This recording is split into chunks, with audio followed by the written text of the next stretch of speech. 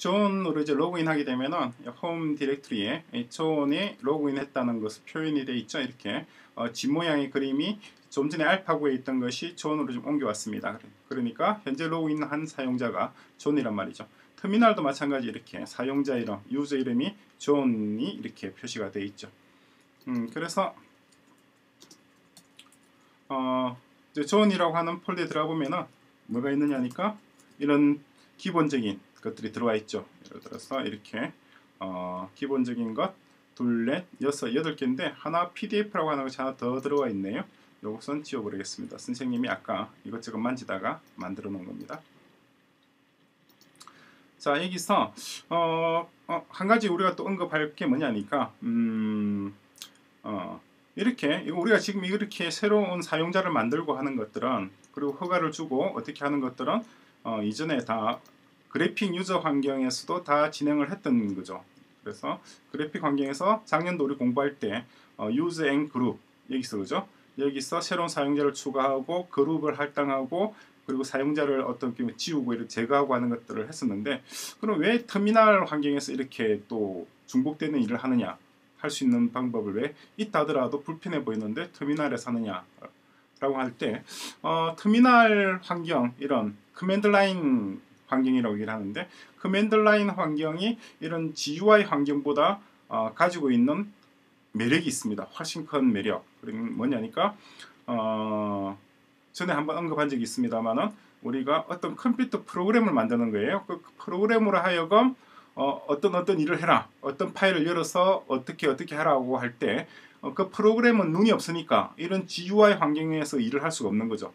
따라서 어떤 그 프로그램에게 어떤 일을 할 것인지 지시하는 것은 이런 터미널 환경의 이런 명령어들의 연속으로서 얘기를 해야 됩니다. 그것이 이제 우리가 앞으로 공부할 스크립트라고 하는 거죠. 그죠?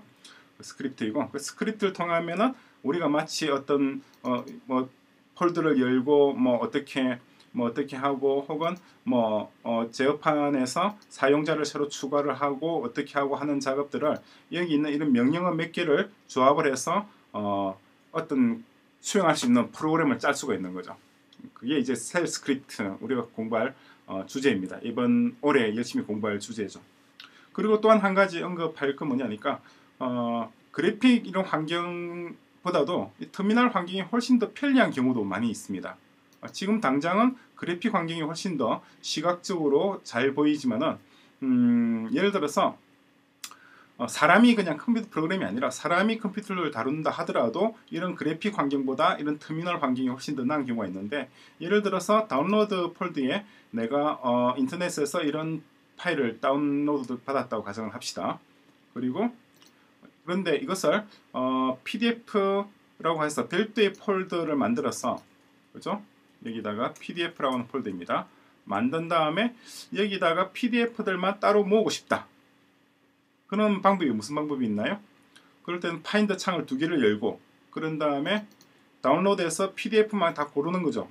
다 골라가지고 그런 다음에 이것을 끌어다가 옆에 옮기는 방식으로 우리가 진행을 할 수 있잖아요.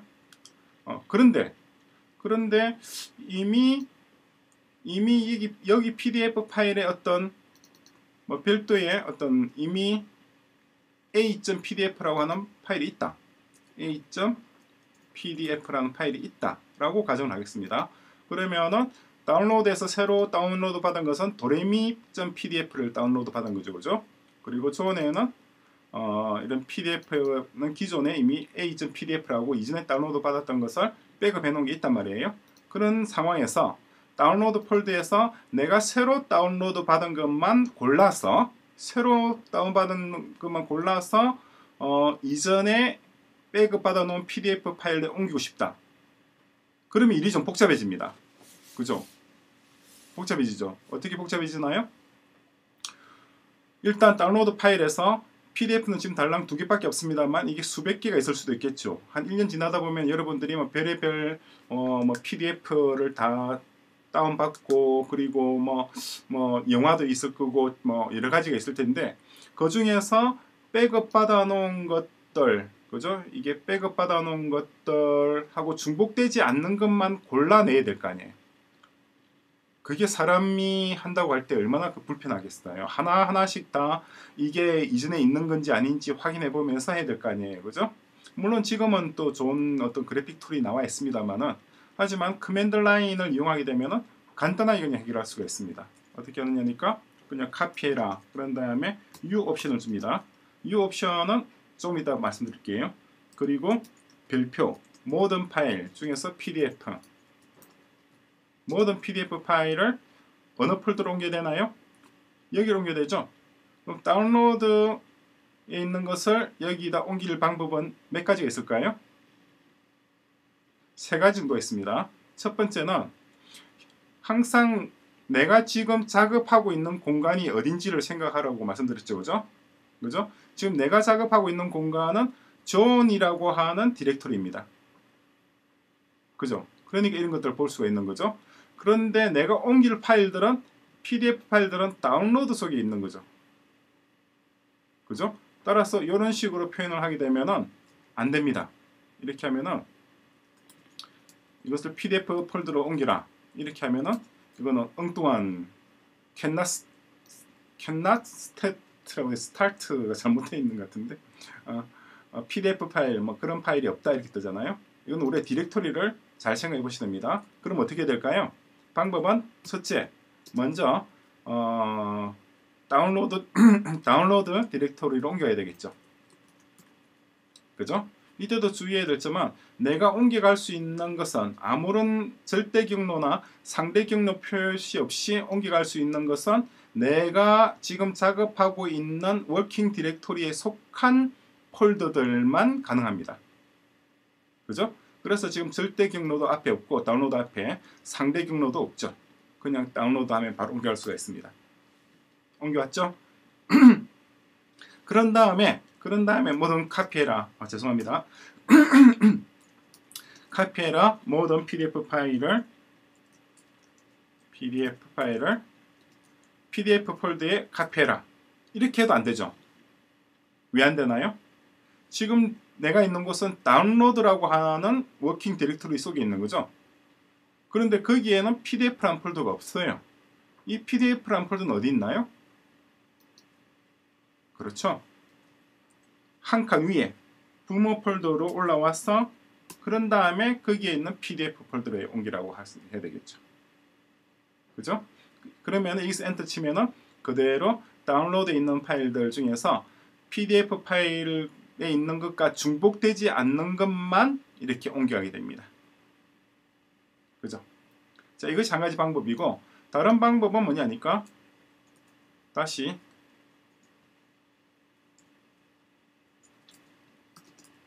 올라와서 처음부터 경로를 주는 거죠. 카피해서 U 옵션을 주고 어디에 있는 거냐니까 다운로드 폴더에 있는 거예요. 그러니까 지금의 디렉토리에 다운로드 폴더에 있는 파일들을 어디로 옮깁니까? 지금 디렉토리에 PDF 폴더로 옮기란 말입니다. 그죠? 그래서 지금 디렉토리에 이런 식으로 주는 것도 가능합니다. 그죠? 다운로드에 있는 어떤 모든 PDF 파일 PDF .pdf 파일을 지금 디렉토리에 pdf로 옮기라 라고 할 수도 있죠. 그죠? 여러 가지 방식이 있습니다만 이런 경로 개념들을 여러분들이 이전 에피소드에서 제가 말씀드렸던 경로 개념들을 어, 잘 생각을 하시면서 해야 됩니다. 그럼 만약에 지금 디렉토리에 앞에 이런 요 기호가 없단 말이에요. 기호가 없이 그러니까 상대 경로 표시 없이 이렇게 할 경우는 어떻게 될까요? 한번 해보시기 바랍니다.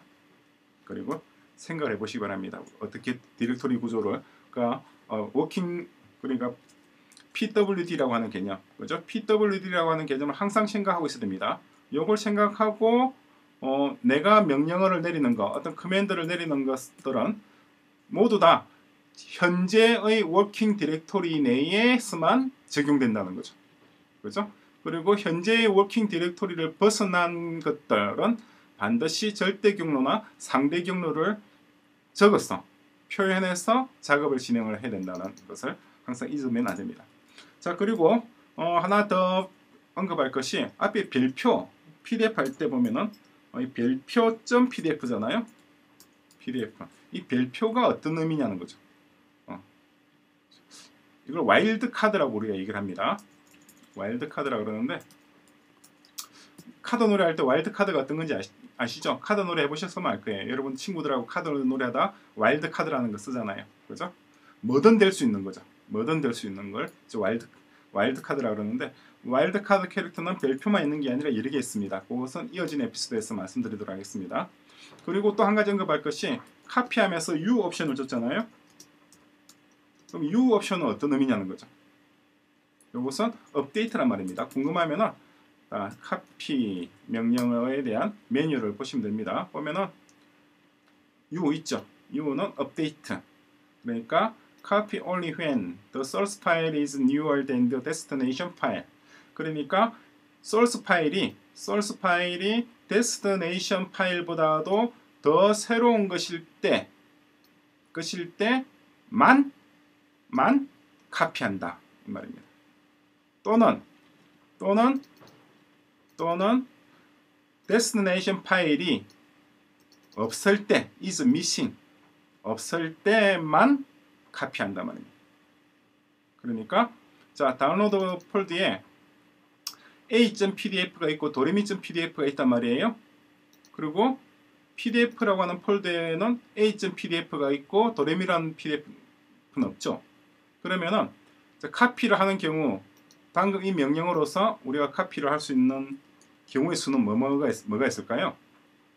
cpu라고 하는 옵션을 줘서 카피를 하는 경우는 어, 크게 세 가지 경우 수가 있죠. 첫째, 첫째는 a.pdf보다 도레미에 아, 다운로드에 있는 a.pdf가 더 새 것인 경우에는 카피를 한다면 같은 의미라 하더라도 그죠? 더 새 것인 경우 저 업데이트가 된 경우에 카피를 하고 두 번째는 없는 경우 pdf라는 폴드에는 도레미.pdf는 없죠. 두 번째 경우 없는 경우 도레미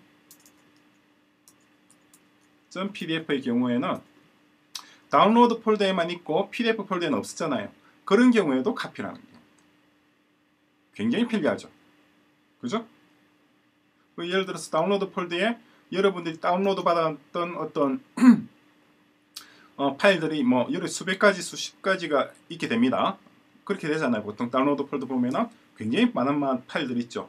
그것을 백업해 놓고 싶다 라고 할 때 여기 있는 것을 여기 있는 것 중에서 일부 PDF는 PDF대로 영화, MP3, MP4는 MP4대로 뭐, 뭐 다양한 종류별로 이렇게 카피를 해놓고 싶다 라고 할 때 이전에 카피해 놓은 것보다도 더 새롭거나 다운로드 받은 파일이 더 새롭거나 혹은 이전에 카, 백업해 놓은데 그 파일이 없을 경우에만 복사해라 라고 하는 것을 우리가 GUI 환경에 산다 그러면 얼마나 그게 복잡하겠어요. 굉장히 복잡하죠. 그런데 커맨드 라인에서는 매우 간단하게 이렇게 처리가 될 수가 있습니다.